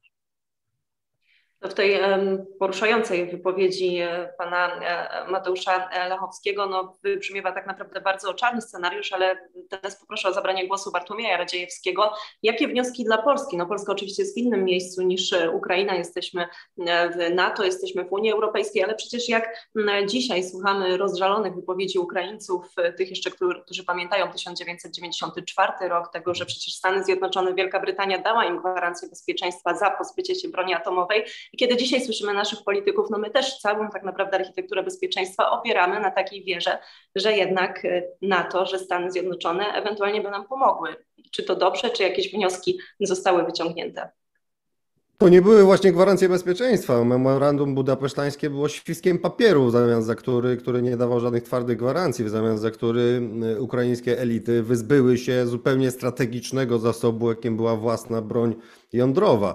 E, to swoją drogą powinno być e, materiałem jakiegoś większego dochodzenia i rozliczenia, uważam, bo to był rodzaj zdrady narodowej de facto, ale tak się stało i to pokazuje, jaka to była głupota, prawda? Tak jak, jak pokładanie takiej wiary po prostu w słowa zachodnich mocarstw, w czyjekolwiek, nawiasem mówiąc, słowa w polityce międzynarodowej, jak może być zgubny. No i dzisiaj wraca temat już dużo poważniejszych gwarancji bezpieczeństwa, że jeżeli ta wojna się skończy jako takim sukcesem Ukrainy, przeciwko czemu nasza dzisiejsza dyskusja jest raczej dość e, silnym argumentem, e, no to, że będą musiały być jakieś gwarancje, poważne gwarancje bezpieczeństwa dla Ukrainy, żeby było możliwe trwałe odepchnięcie Rosji, żeby była możliwa realna odbudowa na poważną skalę Ukrainy, ale to trochę inny wątek. No, kwestia wniosków dla Polski jest tak obszernym tematem, że wydaje mi się, że spokojnie moglibyśmy osobną dyskusję zrobić, ale e, jest kilka najważniejszych, wydaje mi się. Tak? Znaczy, po pierwsze, e, Rosję da się pokonać. To jest moim zdaniem jeden podstawowy i optymistyczny wniosek dla Polski. To może być okupione straszliwą ceną, pokazuje nam to wojna na wyniszczenie, wojna w miastach, prawda, którą podjęli Ukraińcy, wiele aspektów tej wojny, ale jest możliwe przez kraj średniej wielkości. I to jest bardzo optymistyczne dla nas e, założenie. Po drugie jednak ono przez kraj potencjału Ukrainy, Polski, no Polska ma pod wieloma względami większy potencjał niż Ukraina, ale e, na dzień, dzień dzisiejszy trudno wyobrażalne bez bardzo dużej pomocy zachodniej, prawda? E, po trzecie, no ta pomoc zachodnia jest oczywiście uwarunkowana zachodnimi interesami i jest uwarunkowana obecną sytuacją. I my nie możemy zakładać jako Polska za oczywiste, że powiedzmy za 20 lat jeżeli Rosja zaatakuje Polskę, to będziemy w równie dobrej sytuacji geopolitycznej, jak dzisiaj jest y, Ukraina. Mówię paradoksalnie dobrej sytuacji geopolitycznej, bo musimy pamiętać, że gdyby nie to wsparcie zachodnie, przede wszystkim amerykańskie, to Ukraina pewnie padłaby już dawno, prawda? No i teraz pojawia się pytanie, czy znalazłszy się w analogicznej sytuacji za jakiś czas Polska lub inny kraj podobny, będzie doświadczać tak walnej pomocy zachodniej. Na dzień dzisiejszy oczywiście mamy znacznie lepszą sytuację, bo obecność w NATO, obecność tu amerykańskich żołnierzy i tak dalej pozwala sądzić, że pomoc dla nas byłaby jeszcze, jeszcze dużo większa. Ale czy to będzie aktualne za 10, za 20 lat? To jest jakby pytanie, którego, o którym nie możemy nigdy mm, e, zapomnieć. E, no po czwarte, wydaje mi się, że bardzo silnie widać tutaj, że, mm, że Ogromna jest waga własnego wysiłku i najważniejsza jest waga własnego wysiłku budowania wojska, państwa sprawnego, ale wszelkiego rodzaju też odporności, w tym masowe przeszkolenie ludności na okoliczność wojny. Zostawiam na boku kwestię, czy przywracać pobór, czy nie. Ja jestem zwolennikiem, ale masowe musi być przygotowanie ludności, bo jeżeli dojdzie do wojny w miastach, to i babcia, prawda, emerytka, i po prostu piękna młoda dziewczyna, i biurokrata codziennie po prostu siedzący w biurze musi umieć rzucić koktajlem Mołotowa, musi umieć obsłużyć broń, musi umieć podstawowe rzeczy, musi umieć nie wpadać w panikę, prawda, gdy przeciwnik chce ją wychować, nie ulegać dezinformacji i tak dalej, i tak dalej. To może takie cztery najważniejsze w telegraficznym skrócie na teraz i tak długo dosyć mówiłem. My dyskutujemy dzisiaj nad e, przyszłością Ukrainy, nad tym, jakie są możliwe e, rozwoje, scenariusze tego, jak Ukraina będzie wyglądała w perspektywie kilku tygodni. A wrócił do nas generał e, Bogusław Pacek i panie generale, kilka tak naprawdę pytań się nazbierało podczas naszej dyskusji do pana. Pierwsze z nich, o którym wspominał Mateusz Lachowski, dotyczące sytuacji ukraińskich żołnierzy, tego jak długo oni są w stanie wytrzymać. Pan Mateusz Lachowski opowiadał o tym, że był w, w Soledarze, widział w jakich skrajnie trudnych warunkach warunkach znajdują się ukraińscy żołnierze. Jak, jaka Pańskim zdaniem jest przyszłość tego kawałka frontu i ile oni będą w stanie wytrzymać? Ja ogromnie doceniam y, to, co robi pan Mateusz i na bieżąco i obserwuję korzystam z tego. I tutaj obok y, pana Marcina naprawdę y, to są tacy moi dwaj idole wojenni, którzy z Polski tam pojechali i dostarczają prawdziwych informacji, z czym niestety za często nie mamy do czynienia. E, e, szanowni Państwo, mm, to jest wojna. To jest wojna. E, I jak na wojnę, to zarówno liczba ofiar, jak i rozmiar dramatu nie różni się od innych wojen. Trzeba sobie wyraźnie to powiedzieć. Delikatnie sobie tylko historycznie przypomnijmy, że konflikt, wojna w Korei to jest kilka milionów ofiar, a wojna w Wietnamie to są no, dokładnie 3 miliony, gdzie 2 miliony to są też kobiety, dzieci, e, staruszkowie i tak dalej, i tak dalej, czyli cywile. W związku z powyższym e, to nas boli, ta wojna jest blisko nas i widzimy ją na własne oczy, niezależnie od tego, czy przez pryzmat Ukrainek z dziećmi tutaj w Polsce, czy przez pryzmat pomocy humanitarnej, czy takiej działalności heroiczno, heroicznej, jaką e, tutaj panowie Mateusz i Marcin dokonują jak ja e, to postrzegam, czy Ukraińcy wytrzymają, czy nie wytrzymają. Trzeba powiedzieć, że są zaskoczenia na tej wojnie, a Ukrainę miałem okazję poznać działając tam od 2013 roku. To, już to jest sporo lat. Jeżdżąc, znając najróżniejsze jednostki, poziom wyszkolenia, uzbrojenia. E, nie jest on może aż tak cudowny, łącznie z tą rewolucyjną zmianą, o której tak dużo mówimy, ale zmieniło się wiele i to, co zaskoczyło, mnie także zaskoczyło, to jest postawa, pozytywnie zaskoczyło, to jest postawa, determinacja i bohaterstwo e, Ukraińców, zarówno żołnierzy, jak i cywili. W porównaniu do tego, co było w Donbasie, a ja badałem Donbas roku 2014, jeżdżąc tam nawet w te strefy, gdzie było bardzo blisko e, prowadzonej wojny, to jest zupełnie inna wojna i jeszcze większa determinacja, jeszcze większa wola walki. Czy to oznacza, że Ukraińcy wytrwają i że Ukraińcy się nie podadzą i że będą walczyli do ostatniej kropli krwi, jak to my często powtarzamy e, albo cytujemy z literatury? Tego nikt nie wie. Jedno trzeba powiedzieć, ja to wiem z moich rozmów e, szczerych, przyjacielskich z różnymi Ukraińcami, którzy i walczą, i gdzieś wspomagają, i działają tam bardzo daleko na wschodzie ten entuzjazm jest w różnych miejscach jednak trochę mniejszy, co nie znaczy, że się zmieniła determinacja. To nie jest entuzjazm. E, widać w Ukrainie zmęczenie. To zmęczenie widać szczególnie w środowisku cywilnym, ale nie ukrywajmy, że można traktować naród mrozem, e, pozbawieniem prądu, pozbawianiem ogrzewania, no różnego typu innymi bombardowaniami, rakietami i to nie będzie miało żadnego wpływu, bo czasami jak czytam e, polskie, w Polsce relacje, to się wydaje, że ci Ruscy Ukraińców zabijają, a oni w ogóle nic dalej do przodu i tak, to tak do końca jednak nie jest. I te relacje są też takie, że jednak zmniejsza się na przykład liczba chętnych, którzy e, tak jak na początku z Polski wyjeżdżali e, z naszych robót różnych e, budowlanych i jechali sami na Ukrainę. Dzisiaj już coraz częściej pojawiają się obrazki, że trzeba tego kolejnego poborowego gdzieś tam no, przywoływać do porządku. Po drugie, no, zwiększa się także liczba wyjeżdżających, chętnych do żon, do dzieci, mężczyzn, którzy mm, są przewidziani do walki. To nie jest zjawisko. To zjawisko nadal jest bardzo pozytywne i to, co w tej wojnie jest dobre i najlepiej świadczy nie tylko o Ukrainie, ale o zdolnościach do dalszej wojny, to jest wola narodu i wola i determinacja żołnierzy. Cała reszta jest lepsza lub gorsza, ale jednak słabsza od tego głównego elementu, który jest istotnym elementem na każdej wojnie. Podczas każdej wojny, jak popatrzymy na Afganistan, to talibowie prezentując inna, inne porównanie, inni ludzie, e, inne, inne cele, ale to oni także byli tak bardzo zdeterminowani, że w końcu doprowadzili do realizacji swoich celów. I to wygląda dobrze. Natomiast nie wygląda dobrze. Ja nie chcę tu być jakąś Kasandrą, e, ani wieszczyć czarnych obrazów, bo mówię od wielu tygodni także jako jeden z nielicznych e, w Polsce tych, którzy powinni mówić całą prawdę i tylko prawdę. E, mówię o tym grono wojskowych także. Ta wojna wygląda dużo gorzej niż jest postrzegana i w Polsce i na Zachodzie.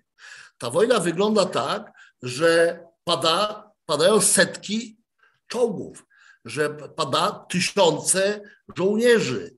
Ta wojna wygląda tak, że e, dysproporcje, mówiliśmy dzisiaj o amunicji, mówiliśmy o pociskach, że dysproporcje już na dzień dzisiejszy są wyraźne.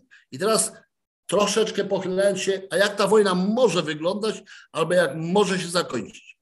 No i tutaj to, co powiedział pan e, Bartłomiej Radziejewski, to jest cała puenta.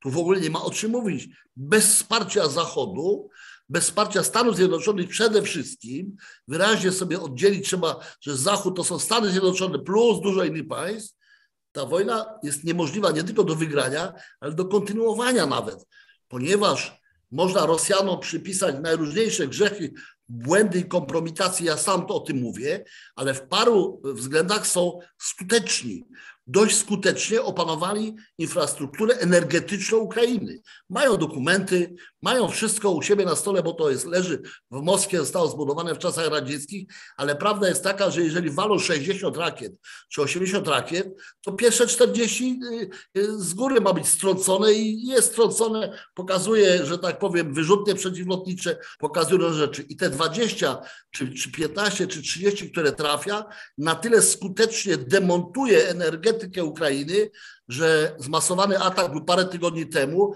a w Ukrainie nadal nie ma prądu. Nawet jeżeli jest w jednym miejscu, w drugim, w trzecim, to to jest coś dotkliwe. Oczywiście Ukraina walczy i dzielnie odbudowuje i chwała im za to. Podziwiam. Ale y, powiedzmy sobie szczerze, koncepcja słynna Gerasimowa z 2019 roku okazała się koncepcją nieludzką, zbrodniczą, ale skuteczną. To jest jedna rzecz. Druga rzecz to jest kwestia e, taka, na ile mamy rozmawiać o Ukrainie, a na ile mamy rozmawiać o Zachodzie. Jak rozmawiamy o Ukrainie, to tak naprawdę dzisiaj możemy mówić tylko o dwóch elementach. O tej determinacji, o woli i możemy mówić o drugim elemencie, jak jest szybkość wyszkolenia. Bo to zależy od Ukraińców. Na ile dadzą ludzi, na ile oni się wyszkolą, na ile będą walczyli. Cała reszta jest w rękach Zachodu. Jak nie będzie 3 miliardów miesięcznie, półtora euro, półtora miliarda euro z Unii, półtora miliarda ze Stanów Zjednoczonych, to nie jest kropelka, to już jest wiadro, że tak powiem, euro, dolarów co, co miesiąc, to Ukraina nie będzie istniała gospodarczo. Jak nie będzie dostaw amunicji, hajmarsów, kolejnych jeszcze, jeszcze czegoś, nie będzie walki. W związku z powyższym, jak mówimy o przyszłości tej wojny i o tym, jak ona się zakończy, to, to jej zakończenie zależy od dwóch kwestii. Od woli politycznej supermocarstw i mocarstw, w tym od e, Chin także, o których mało mówimy, a które mają duże przełożenie na wynik tej wojny, także obecnie, ponieważ mało mówimy o, o wspieraniu Chin i nie wszystko wiemy, nie wszystko się udaje wywiadom e, wydźwignąć.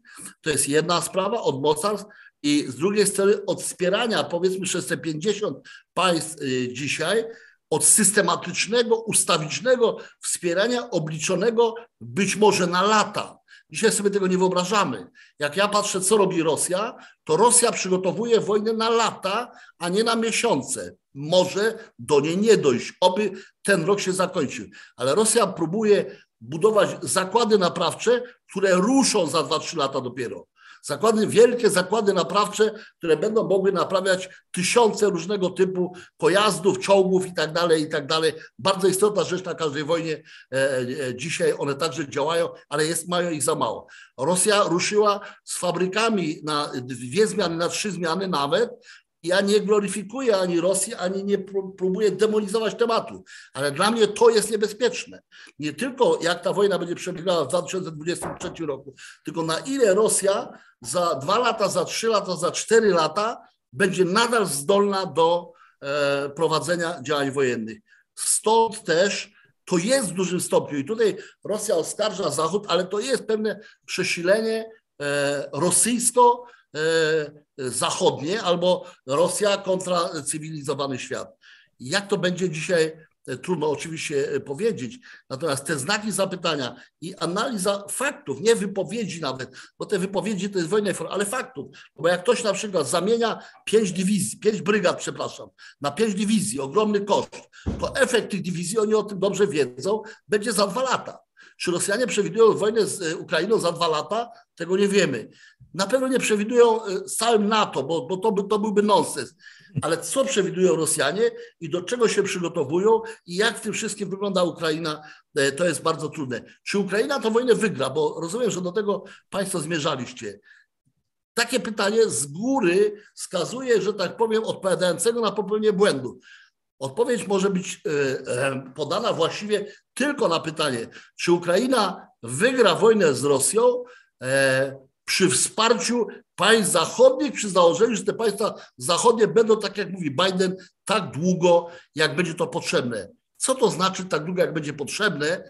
Wymagałoby to dopytania prezydenta Bidena, ponieważ być może tak długo, jak będzie to potrzebne Ukrainie, a być może tak długo, jak będzie to potrzebne państwom zachodnim.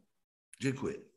Dziękuję za odpowiedź. Ja tylko jeszcze dodam, że jeżeli ktoś byłby zainteresowany, żeby jeszcze dłużej wysłuchać generała Bogusława Packa, to też taka rozmowa znajduje się na portalu Nowej Konfederacji. Bodajże dwa dni temu ją e, wspólnie przeprowadzaliśmy i bardzo e, polecam.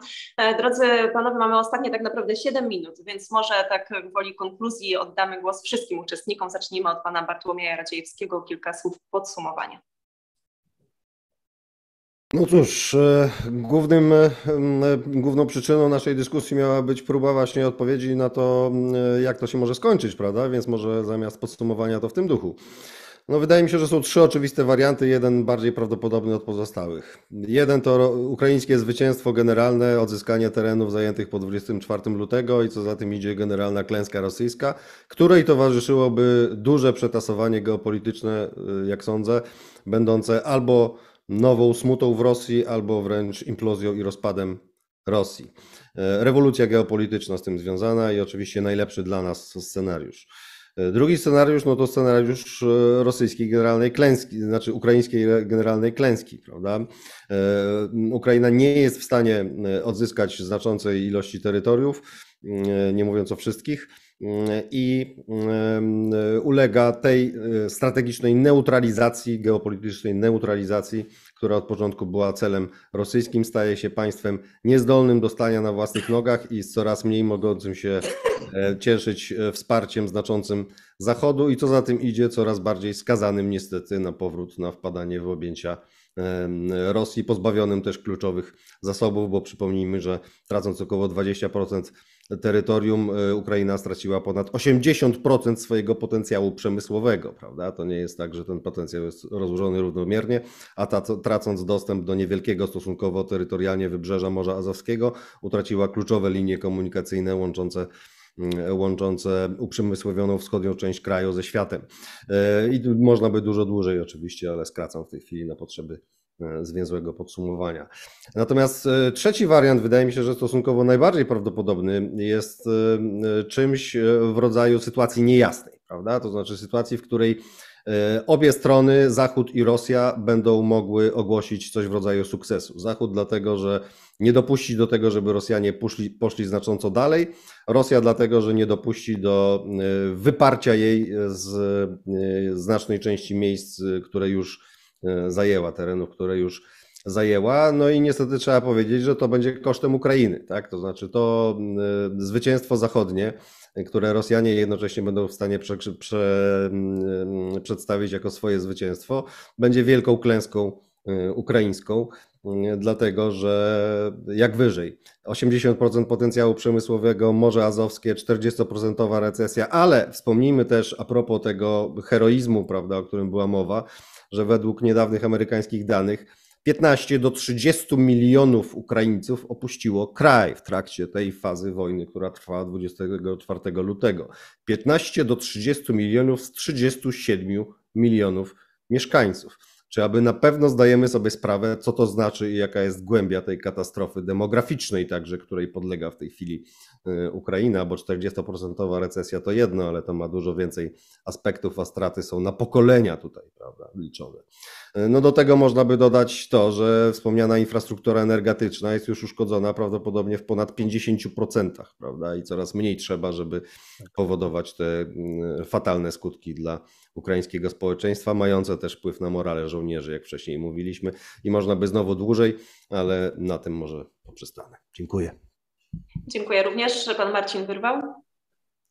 To trudno tutaj naprawdę o podsumowanie, no bo co to znaczy zwycięstwo bądź porażka Ukrainy? Ja słyszę takie głosy, że zwycięstwem to w zasadzie już jest to, że Ukraina pozostała niepodległa, Kijów jest w rękach Ukraińców, ale no tak, jak się pojedzie po tych e, miastach, wsiach, to Mateusz potwierdzi, przyfrontowych, jak się wiedzie do Bachmutu, do Soledaru, wcześniej przecież jeszcze jeździliśmy do Sewerodoniecka, do Lisiczańska, to są tak strasznie zniszczone miasta. E, nie wiem, ile ludzi wyjechało już w sumie, bo to faktycznie są strasznie trudne do, poświęc- do, do, do, e, do takiego twardego potwierdzenia dane. Wczoraj ONZ powiedział, że 17 milionów Ukraińców e, wymaga pomocy humanitarnej. To państwo leży, po prostu jest cofnięte o, o całe lata. Dodajmy do tego to, E, że według wyliczeń 300 tysięcy kilometrów kwadratowych Ukrainy jest albo zaminowane, albo wymaga sprawdzenia pod kątem zaminowania. Przypomnę, że Polska to jest 312 tysięcy, czyli taka Polska, tak? Gdyby nawet ta wojna zakończyła się dzisiaj, to ofiary tej wojny, ludzie będą umierać jeszcze całymi latami, tak jak w Polsce, tak jak w Bośni, e, e, po tych, e, po tych ciężkich minowaniach przecież przecież umierali. Ja w ogóle nie, nie wiem, myślę, że nikt odpowiedzialny teraz nie pokusi się o jakiś realny scenariusz tego, co będzie za pół roku, e, za rok. Na, wiemy na pewno to, że Zachód daje e, za mało i to są już kilka razy tutaj powtarzane słowa ilości kroplówkowe. To nam dobrze nie wróży. E, no i co? My jeżdżąc tam, my musimy być trochę. Mateusz mówi, przepraszam, że jestem defetystą dzisiaj. My musimy być trochę defetystami. Mateusz, ja ci chcę przypomnieć, że w 1939 roku, zanim Niemcy ruszyli na Polskę, to byli w Polsce tacy ludzie, którzy mówili, że mamy za mało czołgów i oni właśnie byli nazywani defetystami. Tak. Też wiem, jak to się skończyło. Także tyle chyba z mojej strony. Dziękuję. To w takim razie pan Mateusz, który wybiera się chyba z tego, co słyszeliśmy na początku dyskusji ponownie na Ukrainę. Na ostatnie kilka słów e, i zakończenie dyskusji należy do pana. E, dziękuję. Ja jeszcze chciałem podziękować e, też za bardzo miłe słowa pana generała Packa, bo jednak z ust generalskich to jest zawsze zaszczyt.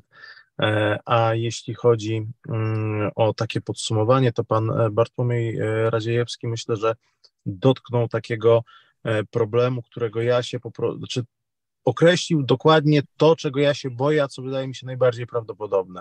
Czyli, że mamy rzeczywiście, ludzie lubią proste e, analizy, proste, konkretne, jednozdaniowe opinie, ale te opinie zazwyczaj mają tą wadę, że nie da się pewnych rzeczy powiedzieć zbyt krótko, e, mimo tego, co pisali filozofowie. I E, można powiedzieć, że Ukraina teraz wygrywa albo przegrywa wojnę.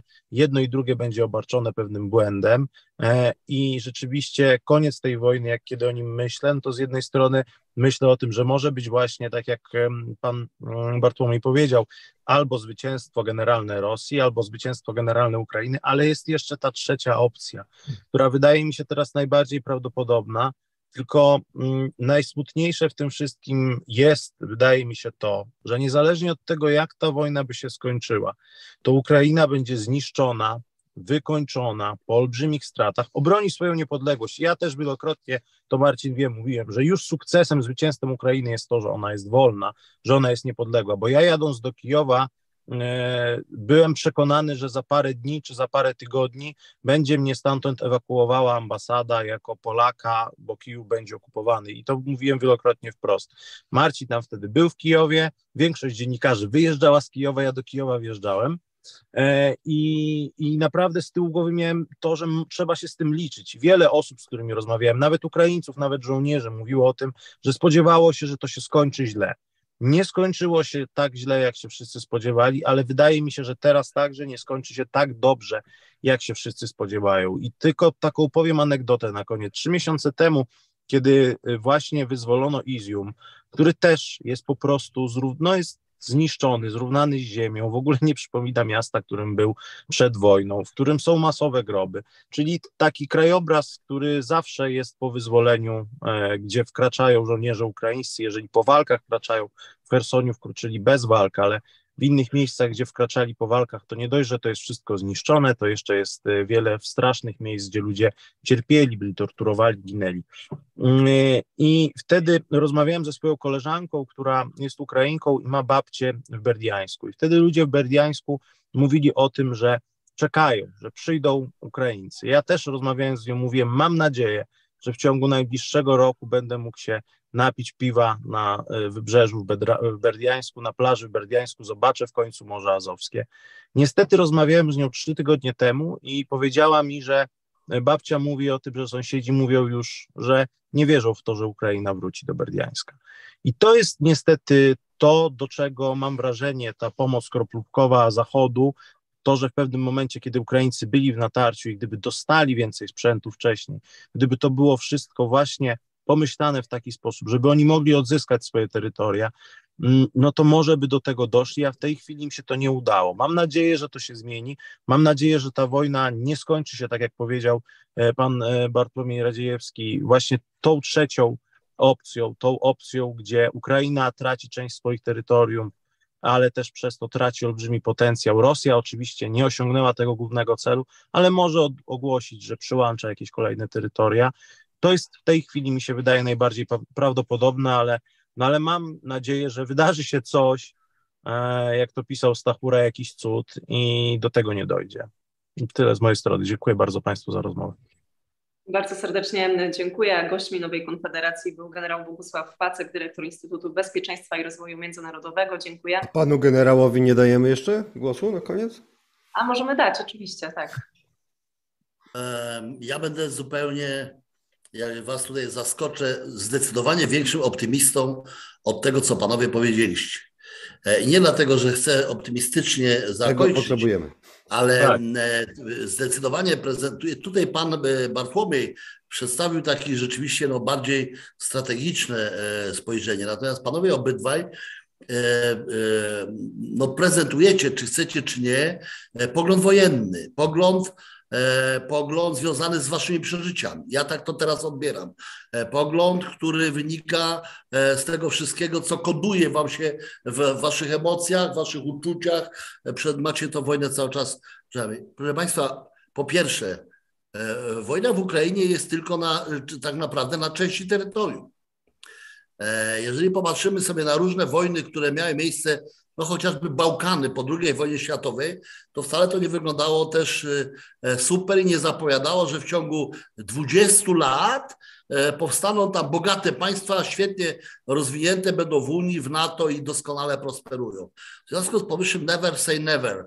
Obraz Ukrainy jest trudny, jest zły, ale mówiliśmy dzisiaj o Bachmucie, mówiliśmy o wschodniej części Ukrainy. Ja nie rozmawiałem o całej Ukrainie, chociaż państwo i pan Bartłomiej ma rację, że przerażający jest stan gospodarczy, przerażający jest PKB, przerażające jest to wszystko. I to także w dużym stopniu będzie zależało od tego, na ile Zachód będzie widział swój interes w tym, żeby wesprzeć Ukrainę. Będzie widział, bo Ukraina jest położona w tak jeszcze bardziej newralgicznym miejscu niż my. My mamy dostęp do Bałtyku, a Ukraina do Morza Czarnego i z wielu innych powodów to jest państwo, które może liczyć na pomoc nie tylko ze względu na jakieś przesłanki humanitarne, ale na zwykły interes amerykański, e, także e, zachodniej Europy.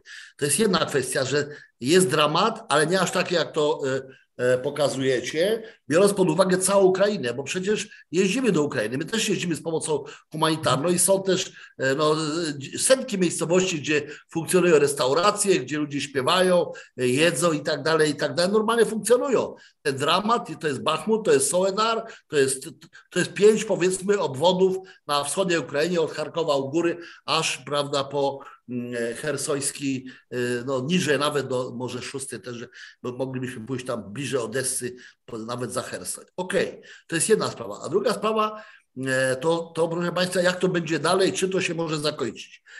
To ja nie widzę tego tak na zasadzie Rosja, Ukraina i tak dalej, i tak dalej, bo gdyby tak było, no to te, ta wojna już by się dawno skończyła i Putin liczył na to, że ona się szybko skończy i on miał realne przesłanki ku temu, żeby tak myśleć, naprawdę.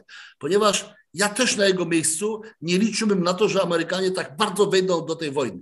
Nie liczyłbym na to, że Amerykanom uda się, nie ma co ukrywać, tak bardzo zdyscyplinować Europę i ją wystraszyć na dodatek, bo, bo, to, bo to wspólne było, że tak powiem, pokazanie, czym ta wojna się dla Europy może skończyć, że Europa stuliła uszy i działa w jednej orkiestrze, bo widzi także swój interes bezpieczeństwa. E, proszę Państwa, ogromnie dużo zależy od Chin. Ogromnie dużo, koniec tej wojny zależy od Chin. Putin liczył na to e, i miał ku temu także realne, dobre, słuszne przesłanki, że Tajwan będzie e, czymś znacznie bliższym czasowo e, niż to, no nie ma miejsca nawet, bo, bo tak naprawdę nadal nie ma miejsca. W związku z powyższym, jak to się skończy? Ja wierzę w strategię amerykańską, Strategia amerykańska jest prawdziwą strategią, która ma cele strategiczne i w tych celach strategicznych, jeżeli się nie zmienią, jest osłabienie Rosji. To jest cel strategiczny e, Amerykanów. Ten cel strategiczny być może wywoła zmianę celu strategicznego związanego z Dalekim Wschodem. Może nie dojdzie do konfliktu e, e, o Tajwan czy o Morze Południowochińskie, to jest odrębny temat. I proszę Państwa, ta wojna się zakończy kiedyś, przy stole. Ona się nie zakończy na polu bitwy, bo to jest never ending story. Ci, którzy znają Rosję, to wiedzą, że ta wojna może równie dobrze trwać nie jeszcze pół roku i nie ma co wyliczać tych rakiet. Ona może trwać jeszcze 3 lata, 5, a może i 10. To jest ogromny kraj z ogromnymi e, możliwościami i także z dużą wytrzymałością społeczeństwa. Ukraińcy są wytrzymali, ale Rosjanie też. Trzeba to e, odnieść obiektywnie. Pokazali to w historii. W związku z tym skończy się przy stole skończy się przy stole e, i szybciej się skończy e, rzeczywiście wtedy, kiedy zostanie zrealizowany cel, który pokazał Biden.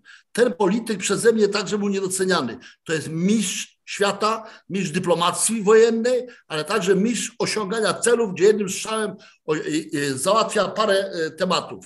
Jeżeli uda się osłabić Rosję, a myślę, że 2023 to będzie pierwszy rok skutecznego osłabiania Rosji. No Chiny troszeczkę inaczej. Nie wiadomo, w którą stronę Indie pójdą. One miały taki skok, że tak powiem, na te surowce energetyczne i opuściły Zjednoczone Emiraty Arabskie. No ale kto by nie opuścił przy takiej różnicy cen? No powiedzmy sobie szczerze, to był jakiś e, szybki ruch wielkiej miłości pomiędzy Modim a Putinem i Indiami, a Rosją nie widać. W związku z powyższym Rosja słaba e, może być Rosją, w której coś się zadzieje, której może dojść do przewartościowania władzy. Nie chodzi tylko o Putina, który może dojść do przesileń dużych i pod jakimkolwiek pretekstem ta wojna może się zakończyć. Ale ta wojna się zakończy e, zdecydowanie przy woli, przy pełnej woli Stanów Zjednoczonych, przy udziale woli Chińskiej Republiki Ludowej i także Rosji, bo bez, a, a, a wola Rosji oznacza nie, że chcę, tylko oznacza, że już nie mogę. W związku z powyższym nie liczę na żadne inne rozwiązania. Nie liczę na żadne rozwiązania, kto wygra wojnę na polu walki, bo jedni by dadzą, no chyba że grę wszedłby atom, energia nie, energia, tylko broń jądrowa, e, no to wtedy rzeczywiście mamy e, coś strasznego, o czym dzisiaj pewnie nawet nie ma sensu rozmawiać. Bez tego, a na atom się nie zanosi, nie ma co się straszyć atomem. Tutaj zdecydowana postawa Chin, zgadzam się e, z panami, odegrała bardzo istotną rolę. Skończyły się w ogóle, nawet straszenie broni jądrową się skończyło. W związku z powyższym ta wojna się skończy. Pomagać trzeba. Ja patrzę na to optymistycznie. Ofiar jest dużo, ale ktoś, kto walczy o tak wielką wartość, jaką jest byt swojego państwa, niestety ponosi taką wielką cenę jak te ofiary.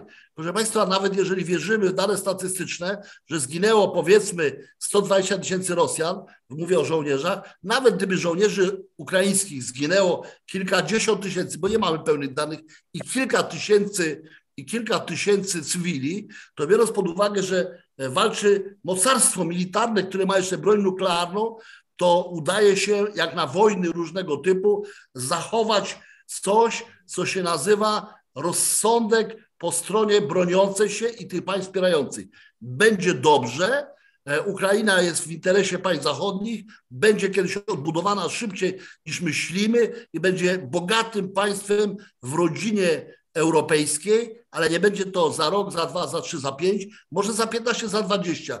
Polska stanęła na nogi kiedy? Tak na dobrą sprawę dopiero jak wstąpiła do Unii Europejskiej po przełomie solidarnościowym. A ile lat e, czekaliśmy na to? Nie byliśmy w interesie amerykańskim. Za późno Zachód chciał, żeby e, również ta część Europy była w jego strefie wpływów.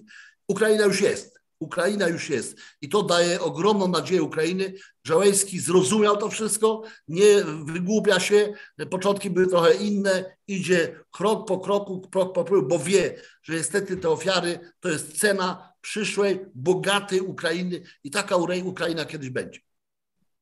I takim może optymistycznym e, nieco e, głosem zakończymy dyskusję. Jeszcze na pewno do tych tematów e, będziemy powracać także na łamach Nowej Konfederacji. Generał Bogusław Pacek, dyrektor Instytutu Bezpieczeństwa i Rozwoju Międzynarodowego, bardzo serdecznie dziękuję. Dziękuję. A także pan Marcin Wyrwał, korespondent wojenny związany z Onetem. Dziękuję. Dziękuję. Pan Mateusz Lachowski, korespondent Polsat News w Ukrainie. Dziękuję. Dziękuję. I także Bartłomiej Radziejewski, prezes Nowa Konfederacja. Dziękuję za rozmowę. Dziękuję bardzo.